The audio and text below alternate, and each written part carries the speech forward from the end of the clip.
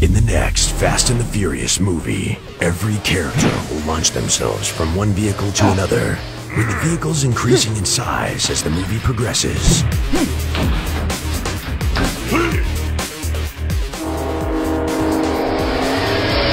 Dom will drink only Corona because You can have any brew you want, as long as it's a Corona. Drink a Corona. Now. Gratuitous shots of asses that establish a new location. There'll be a quiet, dramatic scene with Dom where a secret is revealed. I watched my dad burn to death. Hmm? I'm gonna help you find Letty, who was dead, but now isn't. Maybe later we'll go find Han and Giselle. I was born a woman. Why is nobody shocked about that? During the obligatory car racing scene, each driver will upshift a million times.